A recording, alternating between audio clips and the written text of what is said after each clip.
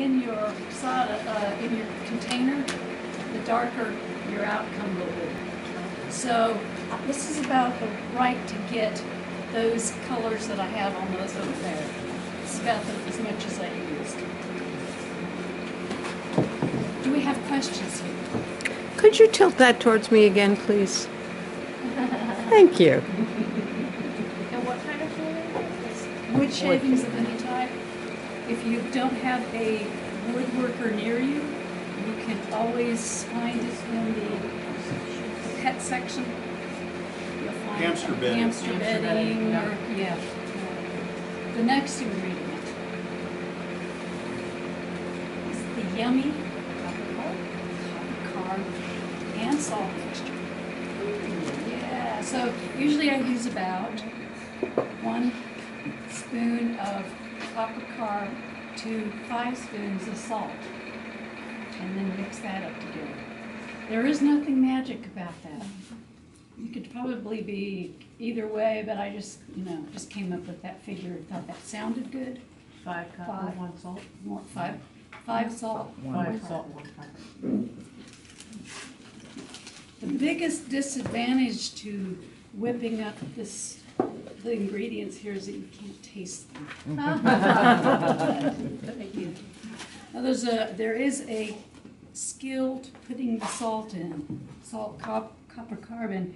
You do not want it to touch the pot. And the reason for that is where it touches on the pot, you get this kind of ugly black blob. So, when you're putting in the copper carb, you want you to hold your spoon in the right way. Is it just regular table salt, the sprinkle Just kind? regular Okay.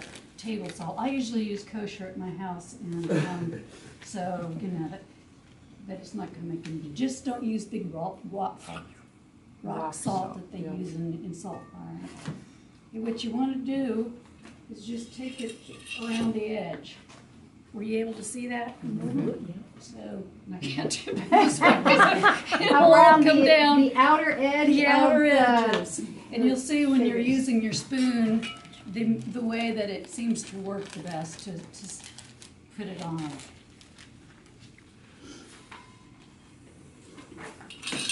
Just kind of take it down like this and go around. All right, this is what makes the delicious look on top, is the.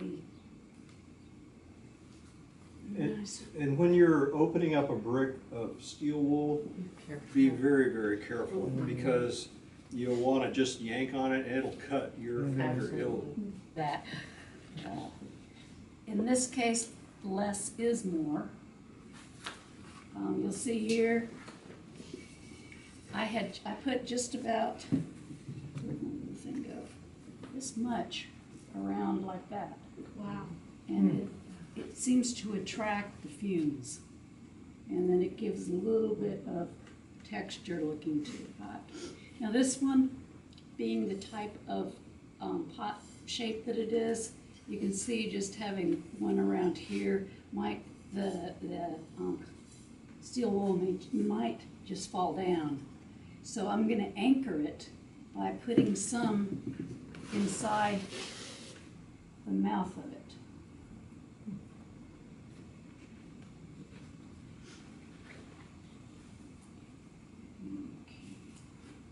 You find yourself thinking, man, that's a little too thick. I sometimes spend more time putting this on than everything else. Because really, this is your design. And with this kind of sagger firing, you want to make it look as organic as possible. Mm-hmm. Once you start getting, I don't use the, the copper wire anymore, because once you start using it on it, it's very hard to get the, that flow in that one Char- Charlie showed you. That is the only one we have ever gotten that has that natural flow to it. Do you want a pair of gloves? We have gloves out there. I like blood.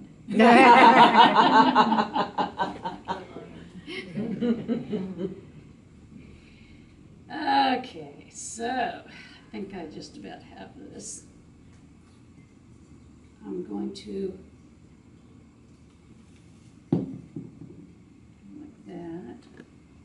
like that. Just a simple hmm. just a little bit, almost like the kinks in it straighten out just a little here and there? A little bit, yes. That's- I need you as my translator. I don't know, you have to talk to Mary about that. I think I'm already signed up for as your assistant. Yes, you are. Has one, Linda, she said she's got one. Okay. And that way I, it has less of a chance of coming apart.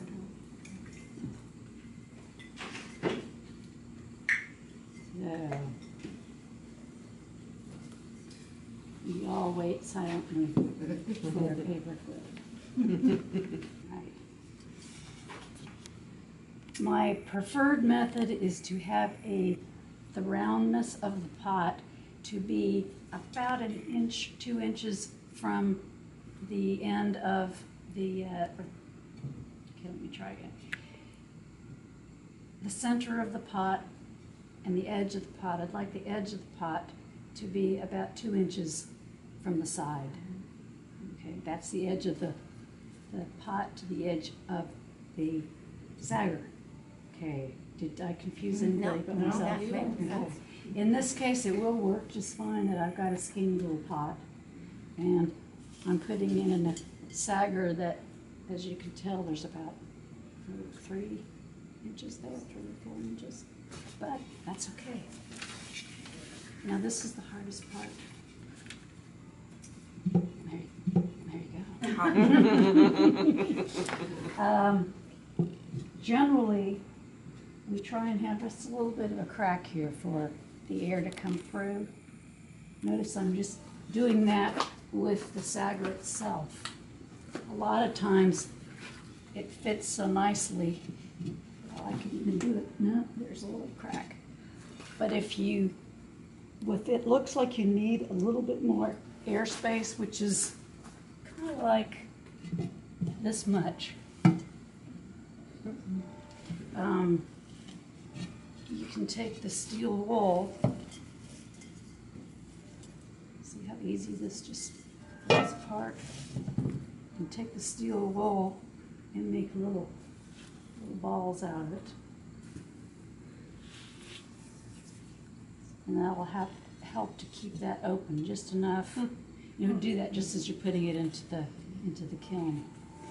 Also, there's like high temperature steel wire or whatever you could buy and, you know, put that in places around there. But I'm not, I don't have enough um, attention span to actually get to the point of going and getting that. So I just use what I Um, have. she also uses some of the chips that come off the naked raku pieces, you know, those eggshell pieces, those work fine to prop it. You know what I'm finding with this paper clip is it wants to pull the whole thing in into the center.